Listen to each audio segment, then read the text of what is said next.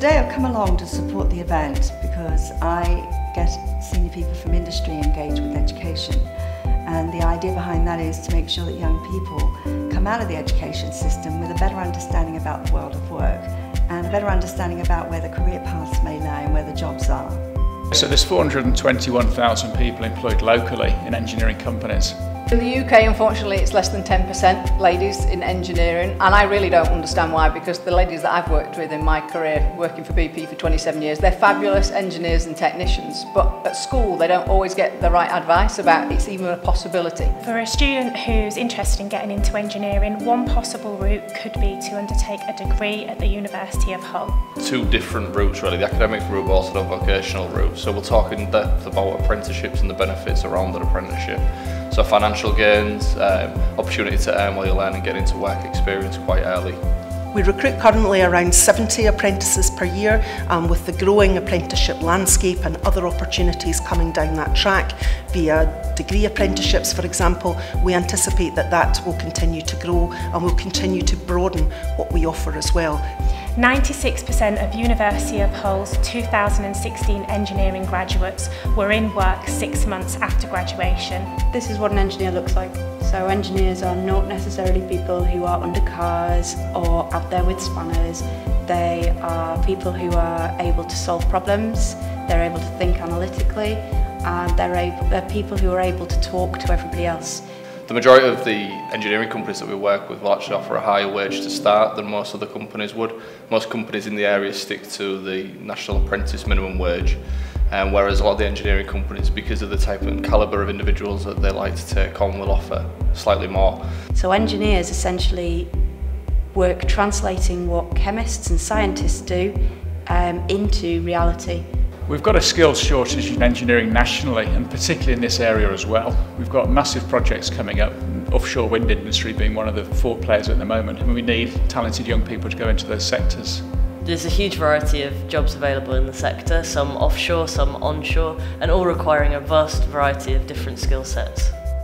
So Airco Centre of Excellence um, was developed to create industry-ready young people. Dong Energy has 2,000 people employed around the world, um, many of those based in the UK. Delivering quality training, making sure they are absolutely work ready, that they're coming fresh from school. The growth in this industry is rapid, um, you know, it's a young industry, um, it's a dynamic industry, um, and we've come a long way in quite a short space of time really. Can they turn up on time?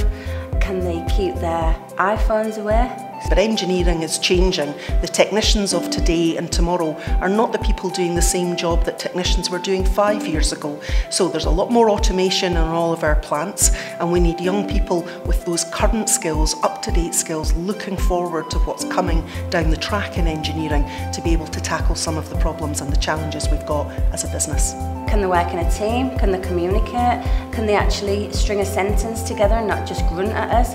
Have they got a good personality? You know, can they have a bit of a laugh and a joke? Because it's not just about being serious all the time.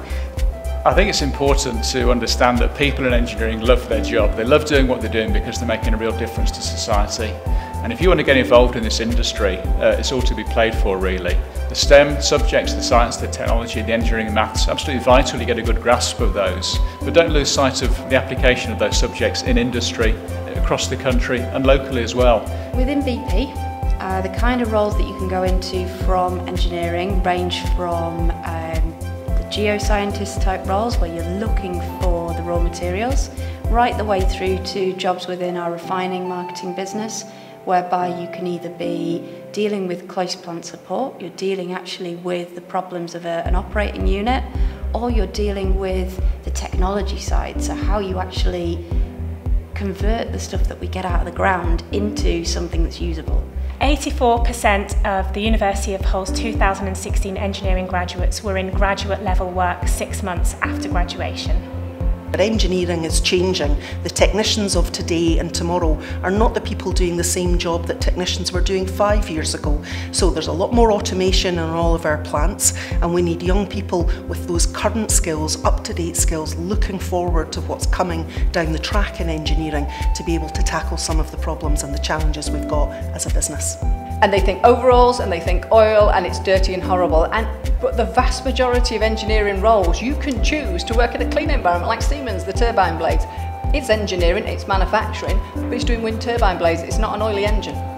In the Humber region, the uh, engineers that work are amongst the highest paid professionals in the region.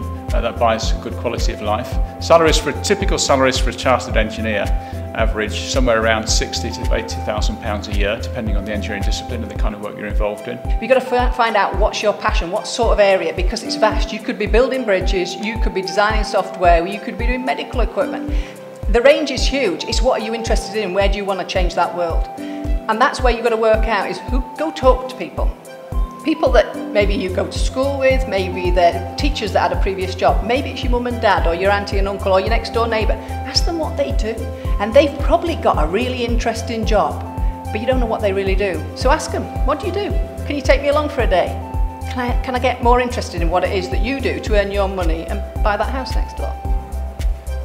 So Nestle has a great uh, programme of school visits and schools activities where we send a lot of our apprentices and graduates and young talent out into schools to tell them what it's really like to work at Nestle, whether that's in a factory as an engineer or whether it's in our commercial offices uh, in sales. So they're able to tell the young people exactly what it's like. Problem solving aspects of doing maths, physics and chemistry and it sort of links in engineering I've always been quite interested.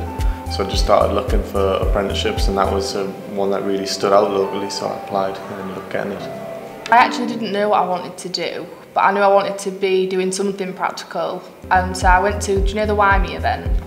I went along there two years ago and that's where I met Airco and from there I started. I got some work experience and started doing their study programme so I tried it out before I properly started it and I really enjoyed it.